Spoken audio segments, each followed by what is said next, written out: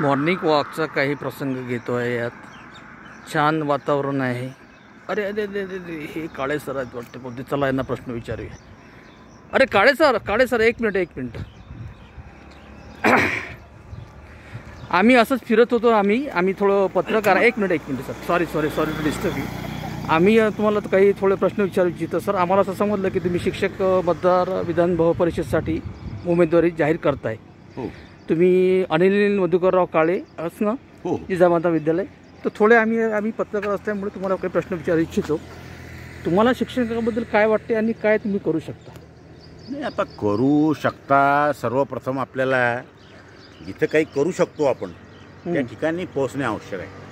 हो ते तर म्हणजे झालंच विधान परिषदमध्ये पोहोचणे आवश्यक आहे. ज्या ठिकाणी कायदे निर्माण होतात आणि ज्या ठिकाणी कायदे निर्माण होतात त्या ठिकाणी योग्य शिक्षक शिक्षक असलेलाच आमदार. हं, नाही तर नुसतं बाबा मी प्राध्यापक आहे पण कुठेच तुमची नोकरी नाही आहे नुसतं तुम्ही प्राध्यापक आहे तर म्हणजे तुम्हाला युनिव्हर्सिटीची काही मान्यता आहे का? हं, महत्त्वाचा विषय आहे ना. की नुसतं बा उठसूट कोणी प्राध्यापक लावून घेते. तर असं ओरिजिनल म्हणजे सर शिक्षक- शिक्षकांच्या अनेक समस्या आहेत जशी जुनी पेन्शन योजना आहे शिक्षक वेठबिगारीला आलेल्या आहेत त्या आ, विनाअनुदान शिक्षकांचा प्रश्न आहे. बऱ्याच बऱ्याच समस्या खूप वर्षापासून पेंडिंग आहे. विद्यमान आमदार साहेबही काही करू शकले नाही. मला असं म्हणायचं आहे की सातही आमदार या जिल्ह्यात या राज्यात काही करू शकले नाही. त्यावर थोडा प्रकाश टाकाल तुम्ही काही करू शकाल?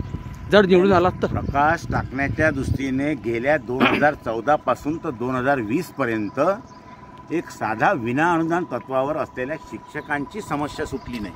बरोबर. आणि जेव्हा आमचा कार्यकाळ संपतो बरोबर. आणि त्यावेळेस मग आम्ही कामाला लागतो कुठेतरी विना अनुदान तत्वावर शिक्षक हा हो. अनुदानित झाला पाहिजे. बरोबर. परंतु आता तुमची टर्म तीस जून दोन हजार वीसला जर संपली असेल बरोबर. तर आता तीस जून दोन हजार वीसला तुमची जर टर्म संपली असेल आणि आता आम्ही सांगतो की आता विना अनुदान तत्वावर शिक्षक हा अनुदानित होणार बरोबर. तर ही सगळी झिरो पर्सेंट बाब आहे नाही. बरोबर. मला हे म्हणायचं आहे की जे काम बरं. वीस वर्षापासून अनुदान मिळण्याबाबतचं सुरू आहे बरोबर. ते अजूनही अनुदान मिळालंच नाही. हो हो.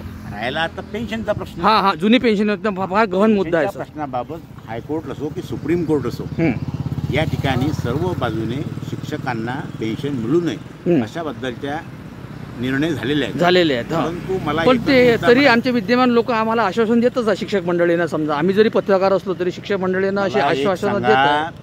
की जे आमदार किंवा खासदार पेन्शन मिळवण्यासाठी प्रयत्न करून राहिले बरोबर. त्यांना- त्यांनी स्वतःच उदाहरण द्यायला पाहिजे. हं, की मी बा पाच वर्ष आमदार होतो मी पाच वर्ष खासदार होतो. बरोबर. तर मला ही पेन्शन सुरू आहे. बरोबर. मी हे समाजयोगी समाजसेवी काम केलेलं आहे. बरोबर. समाजात राहून समाजात राहून सरकारकडून त्याचं वेतन घेतलेलं आहे. बरोबर. जर मला पाच वर्ष काम केल्यानंतर आमदार खासदारला पेन्शन मिळते बरोबर. तर शिक्षकांना का मिळू नये? बरोबर म्हणून बरोबर. यांची पेन्शन सध्या यांनी म्हणायचं आमचे पेन्शन बंद करा म्हणून मग. म्हणजे ऑटोमॅटिक तो मुद्दा सुटेल ना मग. हा.